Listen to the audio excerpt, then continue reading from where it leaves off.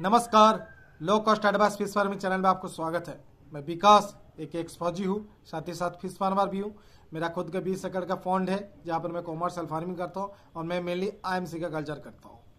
मैं कुछ दिन से पॉन्ड प्रिपरेशन के ऊपर कुछ वीडियो दे रहा था, जो स्पॉन्ड से आप फ्राई फ्राई से फिंगरलिंग पॉन्ड कैसे होना चाहिए, कितना हिसाब से डालना चाहिए, उसके बारे में मैंने थोड़ा, कुछ वीडियो में डिस्कशन किया। आज मैं मेनली डिस्कशन करने वाला हूँ जो ग्रो आउट पॉन्ड का मैनेजमेंट का मैंने बात किया था आई ग्रो आउट पॉन्ड में आ, किस हिसाब से हम सीड डालना चाहिए कितना डालना चाहिए किस लेयर में क्या डालना चाहिए उसको क्या फ़ीड खिलाना चाहिए और किस हार्वेस्टिंग में हमें कितना तक मिल सकता है उसके ऊपर हम डिस्कशन करने वाला है। देखिए मेनली हम लोग जो ग्रो आउट पॉन्ड का जो कल्चर करते हैं वो मेनली टू टाइप में कल्चर होता है एक शॉर्ट ड्यूरेशन का कल्चर होता है एक लॉन्ग ड्यूरेशन का कल्चर होता है। जो शॉर्ट ड्यूरेशन कल्चर मतलब चार पाँच छः महीना एक शॉर्ट ड्यूरेशन में करते हैं और एक लॉन्ग ड्यूरेशन एक साल के लिए करते हैं। तो दोनों का स्टॉकिंग डेंसिटी अलग होगा दोनों का फैसिलिटी अलग होगा दोनों का खर्चा अलग होगा तो उनका रिटर्न भी अलग होगा। पहले आता हो शॉर्ट ड्यूरेशन में। शॉर्ट ड्यूरेशन में हम जो जो लोग कॉमर्शियल फ़ार्मिंग मेनली करते हैं आ, उन लोग शॉर्ट ड्यूरेशन में लगभग ज़्यादातर आदमी करते हैं। कोई कोई साल में तीन क्रॉप भी लेता है कोई दो दो दो बार भी हार्वेस्टिंग करवाता है।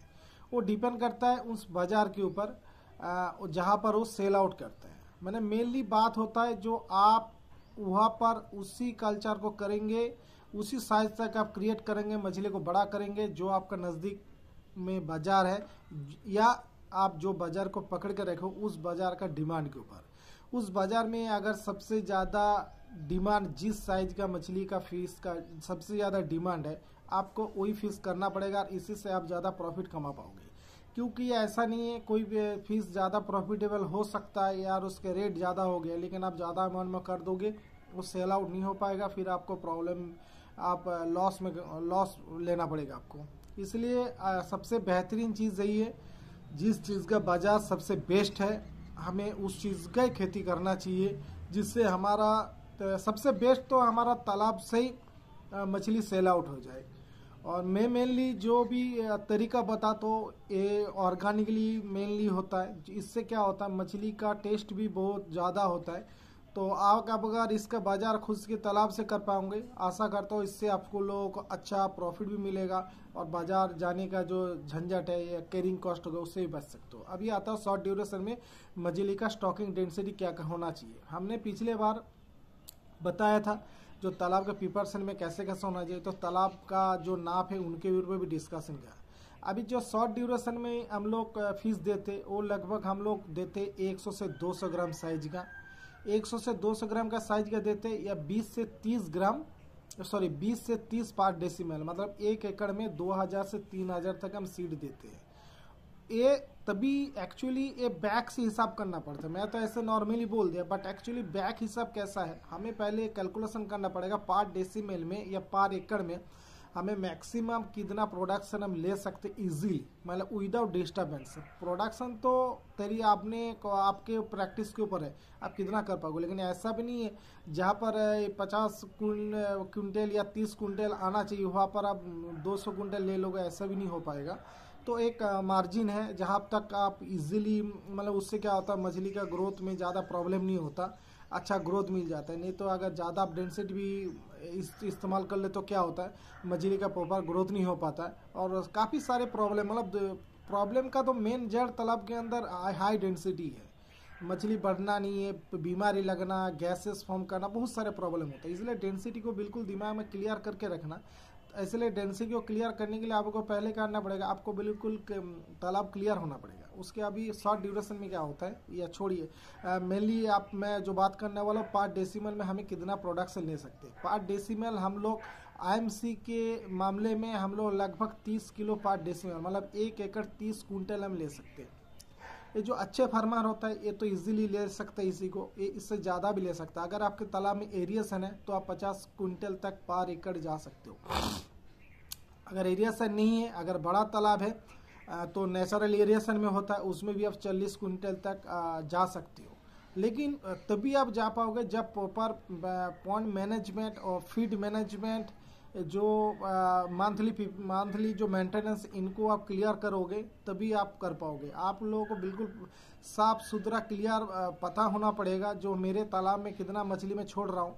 और कितना नी और कितना है अभी भी, कितना बायोमास है, कितना डेली फ़ीड इंटेक कर रहा है, तभी आपको ग्रोथ को पता लगेगा, तभी आप कर पाओगे। और एक मेनली बड़ी बात बताता हूँ, जो शॉर्ट टाइम ड्यूरेशन में होता है, वो एक्चुअली वो फ़ीड बेसिस होता है। उनमें क्या नेचुरली सपोर्ट तो मिलता है, लेकिन उतने ज़्यादा प्रभावशाली नहीं होता, क्योंकि हम हाई डेंसिटी में छोड़ते हैं, बड़ा फ़ीस छोड़ते शॉर्ट टाइम में उनको बड़ा करना इसलिए हमें ज़्यादा फ़ीड को देना पड़ता है। ज़्यादा फ़ीड देने से क्या होता है, वो जल्दी बड़ा भी होता है नेचुरल फ़ीड तो साथ ही साथ चाहिए ही चाहिए। लेकिन लॉन्ग ड्यूरेशन में क्या होता है, हम थोड़ा कम फ़ीड देते हैं। मतलब हमें क्या शॉर्ट ड्यूरेशन के लिए टू से थ्री परसेंट फ़ीड देते हैं। अभी कौन सा फ़ीड देना है, बाद में मैं डिस्कस होंगे पहले मेरे स्टॉकिंग डेंसिटी का डिस्कशन कर लेते हैं।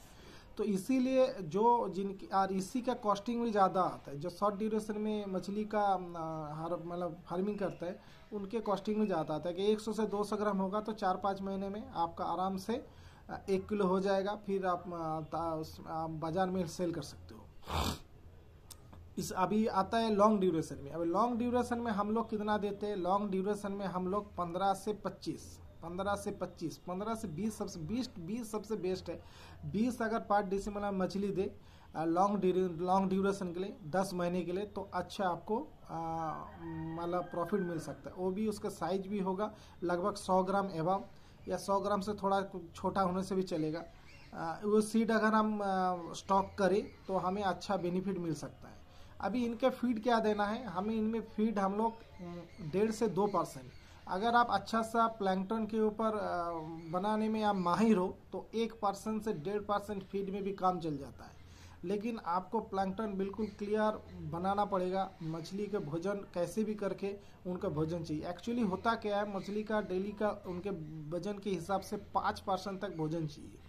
अभी हम लोग कोशिश करते हैं तालाब के अंदर भोजन थोड़ा क्रिएट कर दे तो हमें दो, तीन परसेंट, चार परसेंट तक भोजन हो नेचुरली मिल जाए। बाकी जो एक्स्ट्रा चाहिए, वो उनको दे देंगे। फ़ीड इसलिए ज़रूरी है क्योंकि आप मान के चलिए, एक मछली को डेली सौ कैलोरी उनको शरीर को जो डेली काम काज करने के लिए जो सौ कैलोरी यूज़ होता है। वो अगर सौ कैलोरी बाहर से इंटेक करता है तो उनको ज़्यादा तो ग्रोथ होगा नहीं। जितने का खाना खाया, उतने उसके शरीर में ऊर्जा से निकल गया। तो उनको एक्स्ट्रा भोजन देंगे तो वो शरीर में उसको बायोमास में कन्वर्ट होगा। इसलिए भोजन ज़रूरी है, क्योंकि उनके पोपन माते भोजन देंगे, तभी उसका ग्रोथ अच्छा मिल पाएगा। कोई कोई जाएगा पे कोई भी बंदा बोलता है विदाउट फ़ीड अगर आप करना चाहते हो मतलब फ़ीड ही ना, नहीं देना चाहते हो तो आपको ग्रोथ मिलेगा, लेकिन उतना बढ़िया ग्रोथ नहीं मिलेगा। अगर विदाउट फ़ीड करना चाहते हो तो 10 से 15 10 से 15 पार्ट डेसीमेल आप छोड़ सकते हो। इससे क्या होगा, उसका अवेलेबल प्राकृतिक आहार उनको मिल पाएगा। ये आप लोग कर सकते हो, लेकिन इनके, मैंने देखा इतना बढ़िया रिज़ल्ट नहीं आ पाता। होता है, जिनके पास खुद का तालाब है, उनके पास इन्वेस्टमेंट मानी कम है तो वो लोग ऐसा कर सकता है। लेकिन कुछ भी करिए। आप लोग को पॉन्ड मैनेजमेंट मतलब पर मंथ का जो मेंटेनेंस है, उसके बाद प्लैंकटन रेज आपको प्रॉपर करना ही पड़ेगा। और दूसरी बात, आप बिल्कुल प्लानिंग करके आप स्टॉकिंग डेंसिटी करना। आपके मानी के हिसाब, क्योंकि मानी विदाउट मानी फ़िश फ़ार्मिंग आप सही ढंग से कर नहीं पाओगे। इसका रीज़न बता तो बहुत सारे आदमी को देखा जाता है, बहुत।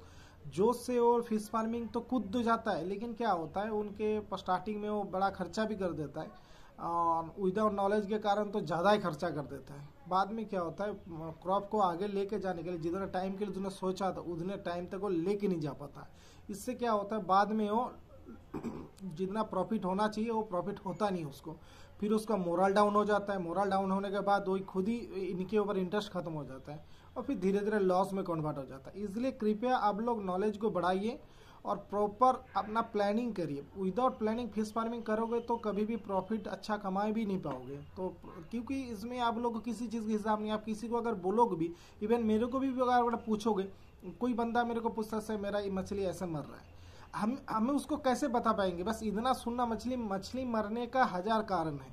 अभी ये हमें देखना पड़ेगा उस तालाब का डेप्थ कितना है उसका एरिया कितना है उस तालाब के अंदर कितने बायोमास है कितने मछली छोड़ा हुआ है कौन सा लेवल में छोड़ा हुआ है क्या फ़ीड दे रहा है उसके मंथली मेंटेनेंस के ये हर चीज़ बोलेंगे तभी तो हम जवाब दे पाएँगे ना सही।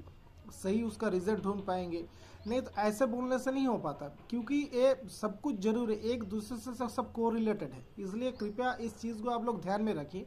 जो जब भी आप मछली को छोड़ रहे हो तो आपके पास प्रॉपर प्लानिंग होना चाहिए। मैं इनको चार महीना छोड़ूँगा छः महीना छः महीना का उसके हार छः महीने के बाद मैं हार्वेस्ट करूँगा। अभी और भी कुछ मॉडल हैं, जो मैं अभी इस मोड इसमें मैं अगर डिस्कशन करूँगा तो काफ़ी लंबा हो जाएगा। कैसे करके जिनके पास कम मानी है, और वो चाहता है मैं मछली फार्मिस फार्म को लॉन्ग ड्यूरेशन के लिए भी करूँ, और शॉर्ट ड्यूरेशन का प्रॉफिट भी मुझे मिले।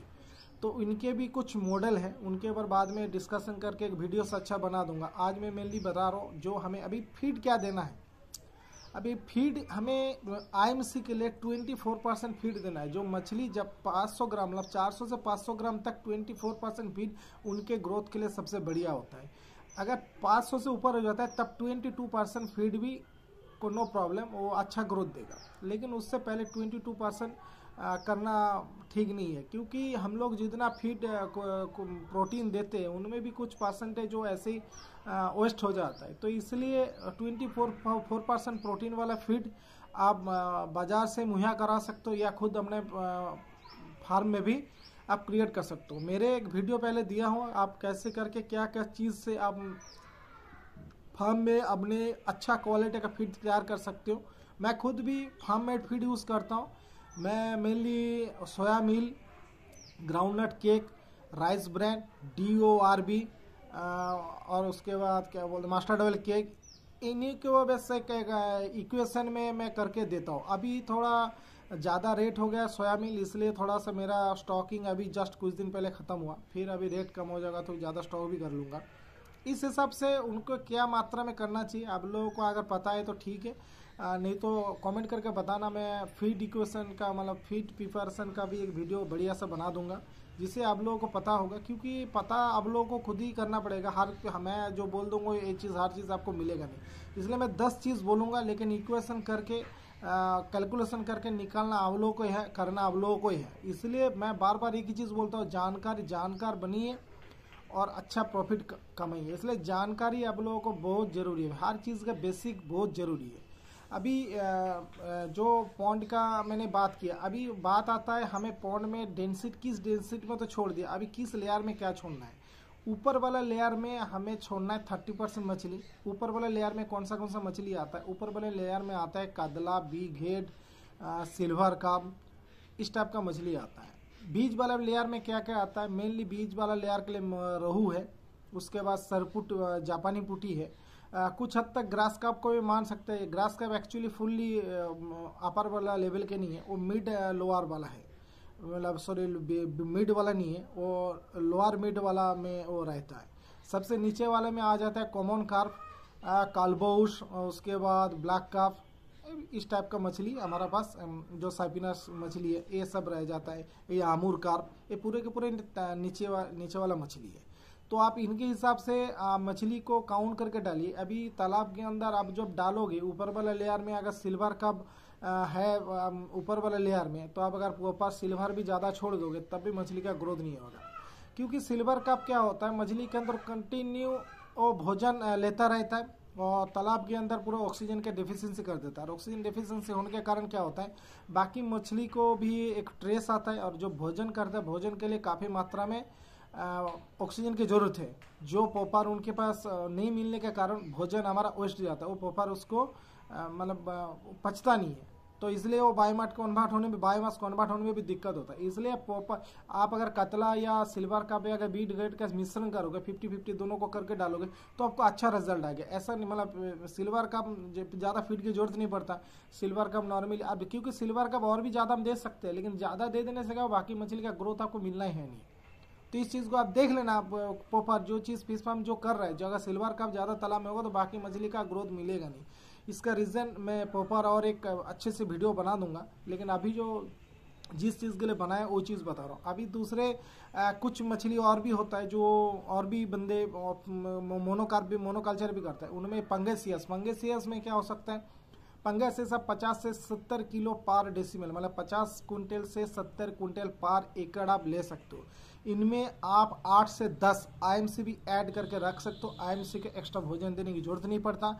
जो पंगस इसका भोजन देते हैं, उसी का वैसे आईएमसी का ग्रोथ हो जाता है। उसके बाद अगर आप तेलेपे का बात करूँ तेलिए भी आप लोग सत्तर, अस्सी किलो, नब्बे किलो तक पार डेसिमल आप मतलब ले सकते हो। मतलब सत्तर, अस्सी कुंटल पार एकड़ आप ले सकते हो। अगर एरिएशन है तो हर चीज़ को बढ़ा जा सकता है। एरिएशन इसलिए ज़रूरी है अभी जितना एडवांस टेक्नोलॉजी आ रहा है, इनमें एरिएशन मेन है क्योंकि एरिएशन ही हमारा तालाब को, एक सेम तालाब को, बस एक मशीन के हेल्प से, एक या दो मशीन के हेल्प से दुगना बना सकते हैं। मतलब प्रोडक्शन अगर दुगना मिल जाए तो दुगना एरिया की ज़रूरत नहीं, उसी तालाब में हम कर सकते हैं।